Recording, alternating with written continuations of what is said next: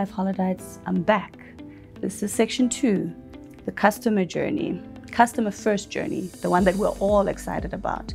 Last time we spoke about the customer experience, and the second part of our journey looks at customer communication.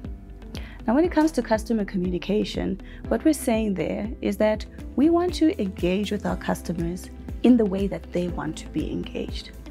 If the customer is core to everything that we do, what are we saying to them? How are we saying it to them? Is it what they want to hear?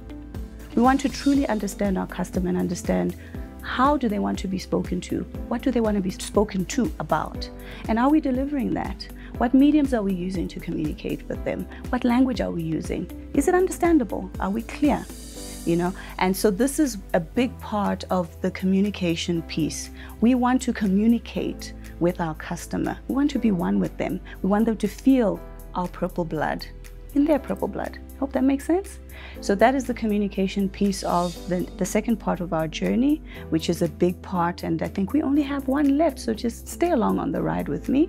We have one more piece of the, of the customer first journey to get to. I'm very honored to have you sitting here with us today, Thembeka. Tell us about where you, you know, where you sit within Hollard Life. I have been with Hollard for 10 years this year. I started as a data capturer and I moved up to the amendments area.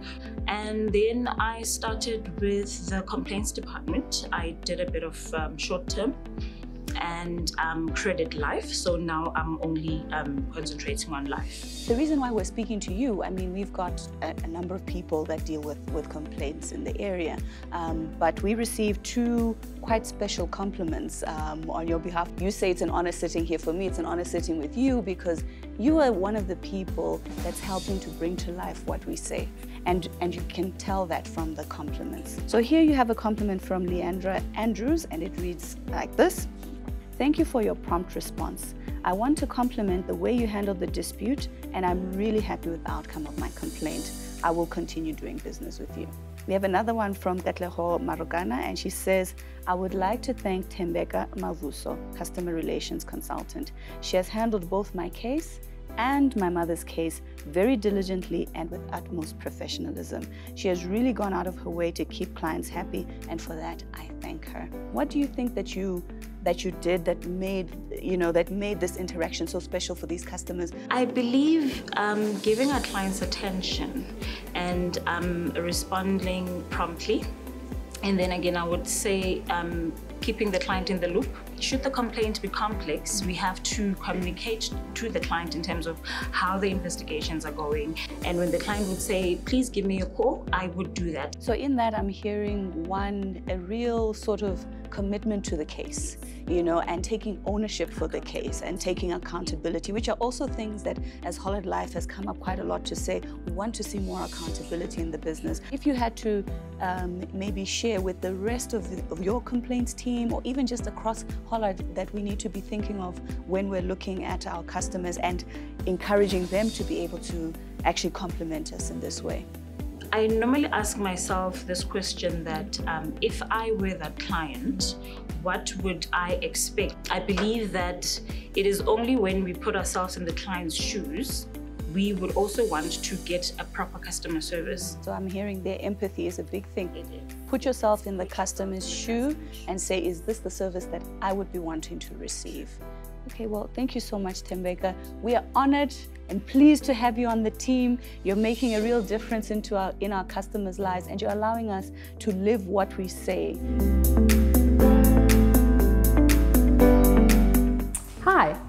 Last time we talked about brand as one of the components in the formula to help us keep customers first. Today we're going to talk about customer experience, which sounds like an easy thing, but if you put your shoes on as a consumer and you think about where things happen that are really great, if you're eating out or going shopping, I promise those things don't happen by accident. They are deliberately designed and executed. And we've done the same thing here at Hollard. We've created a Hollard customer experience formula so that we can create those customer experiences deliberately. And it really is comprised of three things. One is to be human, is to remember what it feels like when people interact with us. The second is to actually get things done, is to do what we say we're going to do and to own it personally as the person that's dealing with that.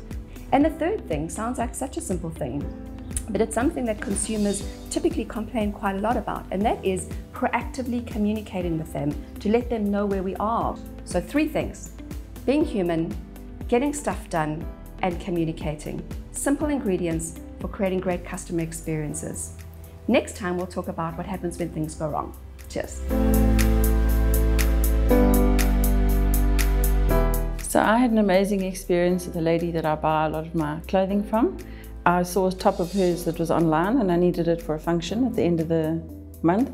Um, she searched all her stores looking for the top for me. She couldn't find it anywhere and phoned and apologized profusely that she couldn't find the top for me. Then on the Tuesday the following week, she phoned me at about nine o'clock at night to say that she had finally found the top. And she was very cross with her staff because they didn't have, they didn't look properly for the top. Um, and then she asked me if I still wanted it, and I said definitely. And on Wednesday morning at nine o'clock, she arrived at the office with the top all wrapped up in a beautiful bag with her speed point machine put it through, gave me a free, beautiful necklace with it, and yeah, I'm now the proud owner of a gorgeous top. oh, it made me feel um, very valued, um, that she actually wanted my business, that she went out of her way to go and find the stuff for me and make me feel good on the day that I was having a function. So I think Hollard can learn from the experience just by making sure that every customer is valued, that every time somebody comes into Hollard, that when they leave, they feel better for coming into Hollard um, and not getting very upset or walking away with a bad experience because always your last experience is the experience that you tell the world. Um, so if you've had a bad, if you've had 50 good experiences and one bad one, you're going to tell everyone about the bad one.